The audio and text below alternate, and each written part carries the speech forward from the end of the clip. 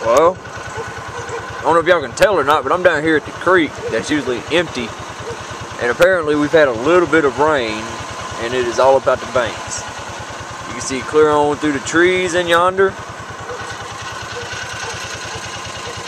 I'm actually in the water with the gator. But uh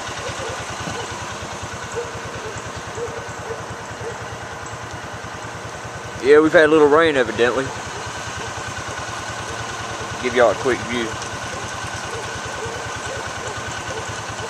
The battery don't die. I'll show y'all a little bit more.